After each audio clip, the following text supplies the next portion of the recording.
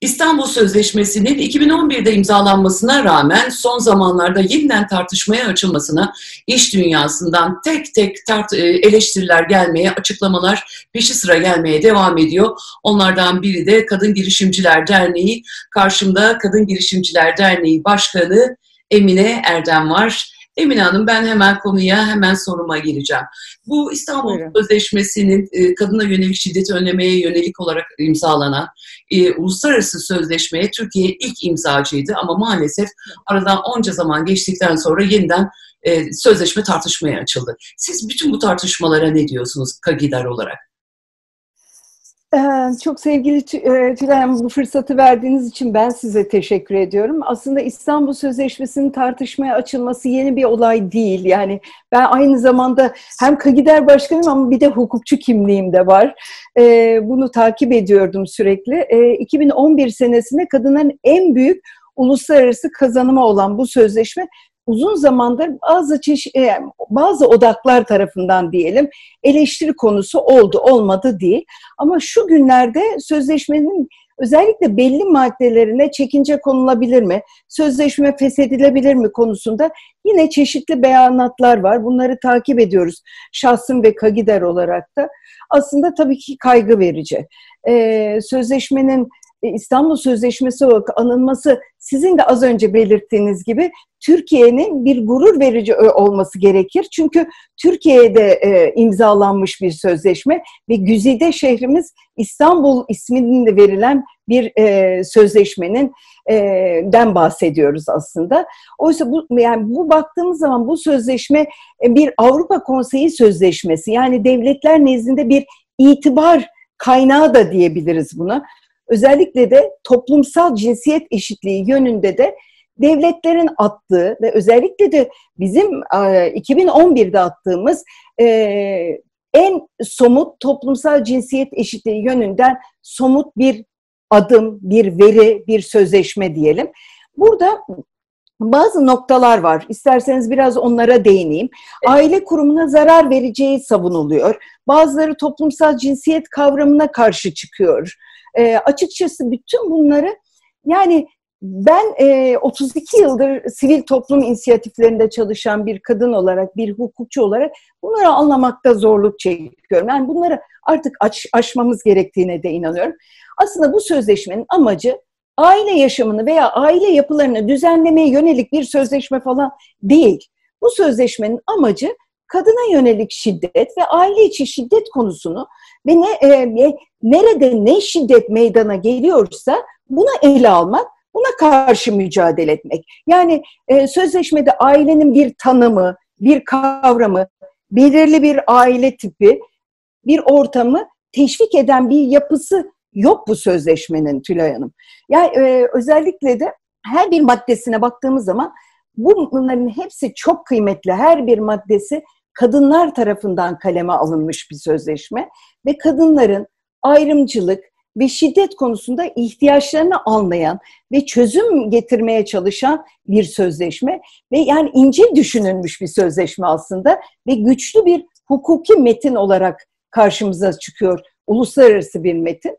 Ee, buradaki amaç kadınlara, kadınlara yönelik şiddetin ve aile içi şiddetin önlenmesi ilk etapta kadınların bunlara karşı korunması ve bunlara karşı da e, bütün bu ilgili yasal kavuşturmalarında yapılabilmesini öngören bir yapısı var bu sözleşmenin.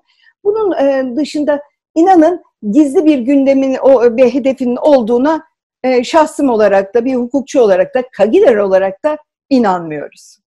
E, yöneltilen eleştirilere baktığımızda e, sizin de bahsettiğiniz gibi aile yapısını aileyi bozduğu, yapısını dağıttığı e, ifadeleri geçiyor. Biraz açalım mı sizinle? Hem bu ifadeyi hem de e, bir diğer eleştiri noktası da e, korunması gereken grupların özellikleri, nitelikleri anlatılırken sözleşmede bir cinsel yönelimi, cinsiyet eşitliği ne olursa olsun hani bu grupların herkesin korunması gerektiğine dair ifadeler var. Bu ifadeler nedeniyle de eşcinselliği yayacağı ve bu amaçla aslında bu sözleşmenin hazırlandığı gibi e, bir takım eleştiriler, düşünceler var. Ne diyorsunuz siz bunlara? Vallahi nereden baktığınıza bağlı. E, niyetiniz neyse odur. Onu özellikle söylemek istiyorum. Sözleşmenin dördüncü maddesinin üçüncü bendi çok açık. Aslında burada e, özellikle de ırk, renk, dil, din, siyasi ve başka türlü her, ne görüş olursa olsun, yani e, sosyal kökeni ne olursa olsun hiçbir ayrım yapmadan oluşturulan, hiçbir cinsel e, yönelime e, işaret etmeyen bir sözleşme özellikle bu madde üzerinde duruluyor. Haklısınız. Ancak bunun hiç böyle bir ayrımcılık yapılması veya bir yere yöneltilmesi noktasında bir e, taraf teşkil etmiyor bu sözleşme. Öncelikle şu noktayı vurgulamak isterim Tülay Hanım. Cinsel yönetim, e, özellikle yönelimi, kendisi için benimsediği cinsel kimlik ne olursa olsun bir insanın herkes başta şiddete karşı korunmak zorunda. İnsan çünkü yani bu sözleşme sadece kadın haklarını da değil, insan hakkını ortaya koyan bir yapı. Yani insani değerleri almak durumdayız. Herkes şiddete karşı korunmalı ve eşit şekilde korunmalı ve aynı insan haklarına sahip oldukları için aynı zeminde koruyup kullanmak durumundalar. Bu, şu noktayı vurgulamak isterim ki sözleşmeyi e, özellikle İstanbul Sözleşmesi aynı cinsiyetten olan çiftlerin yasal olarak tanınmasına da dahil olmak üzere toplumsal cinsiyet kimliğini ve cinsel yönlenimle ilgili olarak daha yeni standartlar ortaya koymuyor. Yani böyle bir şey yok. İnsan hakkı diyor. Dil, din, ırk, mezhep hiçbir şeye ayrım gözetmeden herkesin eşit koşulda bu sözleşmeden yararlanmasını öngörüyor. Niçin e, yönelimler e, noktasına eğiliyoruz? İnsani değerler noktasına eğilmemiz lazım.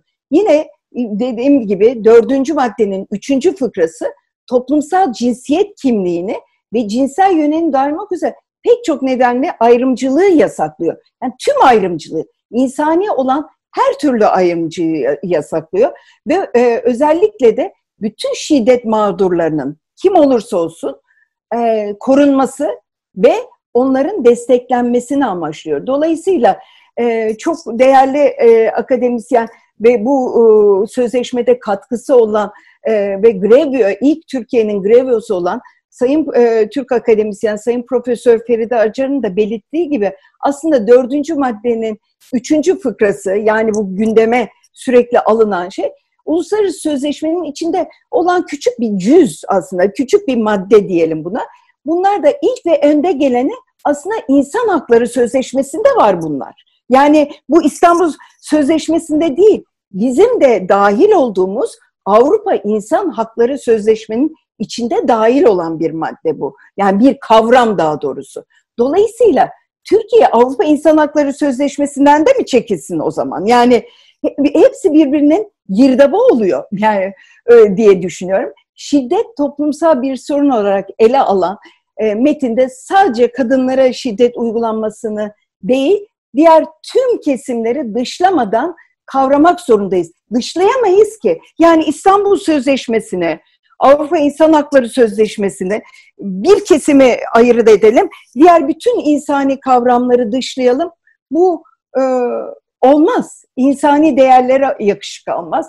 Özellikle de toplumsal cinsiyet dediğimiz zaman ne demek bu? Belirli bir toplumda kadınlar ve erkekler için hiç ayrım gözetmeden e, sosyal doku içinde oluşturulmuş roller, davranışlar, faaliyetler ve özellik, e, özelliklerle kapsayan bir kavram bu. Yani burada toplumsal cinsiyet teriminin çevresinden kaynaklanan tabii ki görüyoruz, yaşıyoruz, dinliyoruz, duyuyoruz, sorunlar var ama yani e, başka e, tam karşılığı da yok ki bu dillerde cinsiyet e, teriminde ayırt edilmesi noktasında erkek kadın. Biz insan değerleri üzerinde konuşalım arzusundayız ve dolayısıyla kadın, erkek, çocuk, canlı bütün e, e, hayati kavramlar içinde bunun e, değerlendirilmesi ve bu tartışmaların alevlendirilmemesi tam tersi odaktaki noktayı yani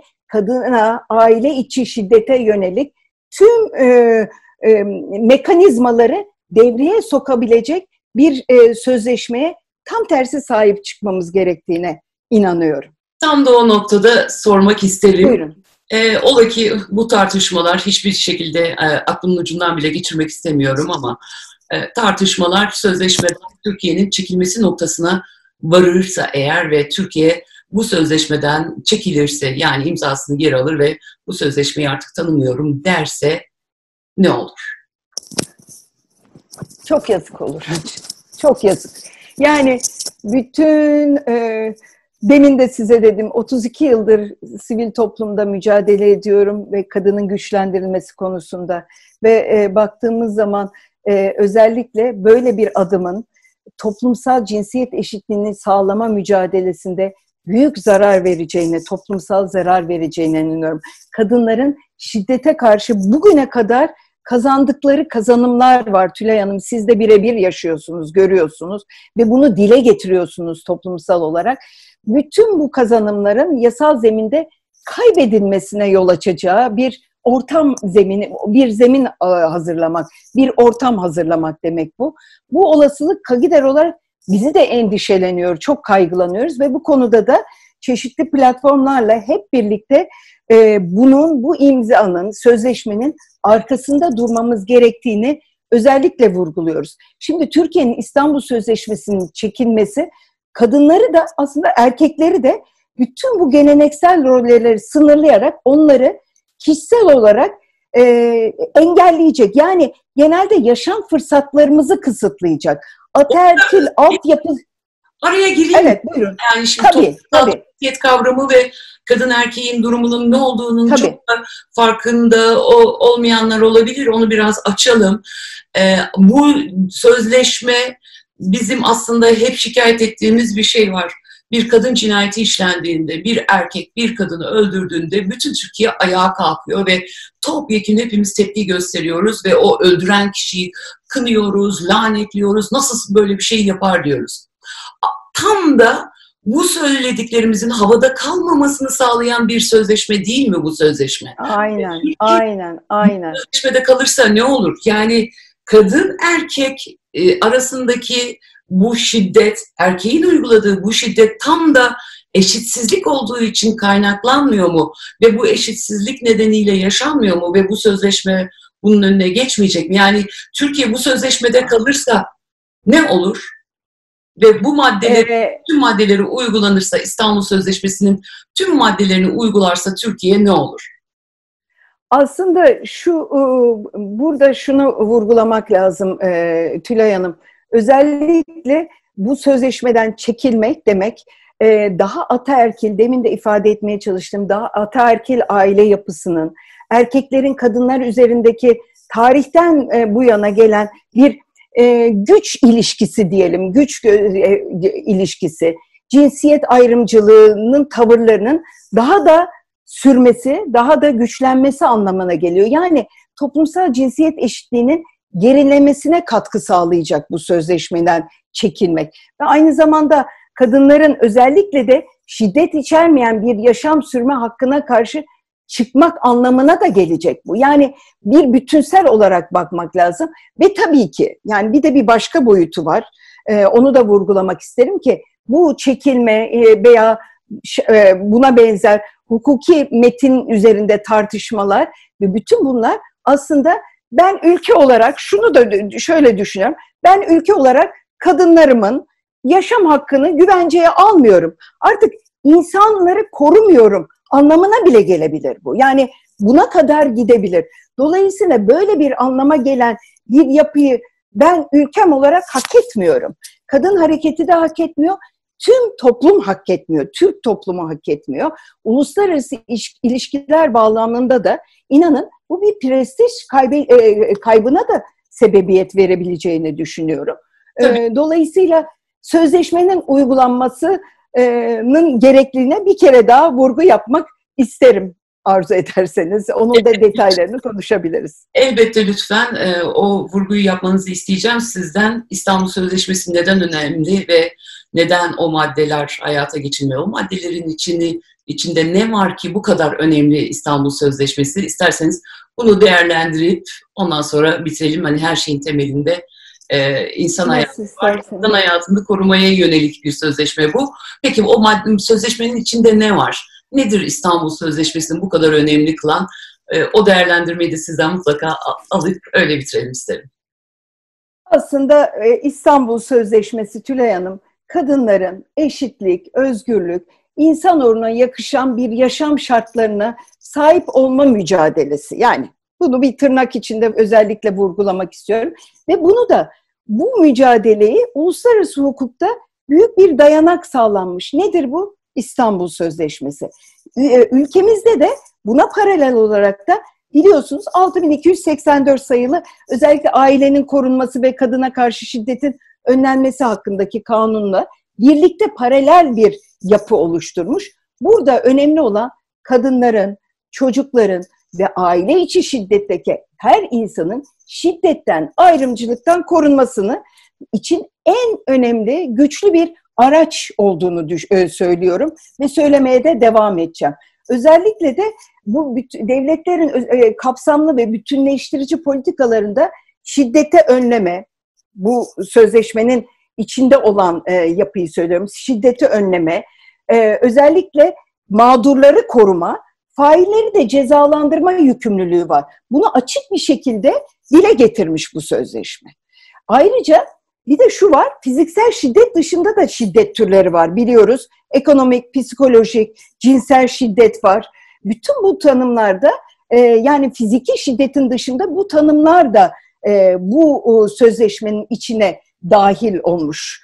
Aynı zamanda bir başka boyutu da var. Devletlerin yani sözleşmede de yer alıyor sığınma evleri açmasını, tecavüz e, kriz merkezlerinin kurulması, 7-24 hep bunu vurguluyoruz bütün arkadaşlar. Kadınlar için çalışan bir çağrı merkezinin zorunlu olması ve bunun takip edilmesi ve özellikle de mağdurların hiçbir konuda ikinci bir mağduriyet yaşamamasını için bütün tedbirleri, önlemleri alacaksın, koruyacaksın ve takip edeceksin e, ve yasa, e, cezaların da e, uygulamasını sağlayacaksın. Yani topyekün bir yapıyı sağlıyor. Aslında bunu bir uyguladık mı?